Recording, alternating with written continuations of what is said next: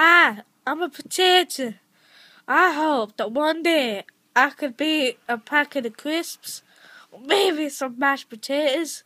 Yeah, mashed potatoes would be nice. Yeah, I get to hang out with the sausages.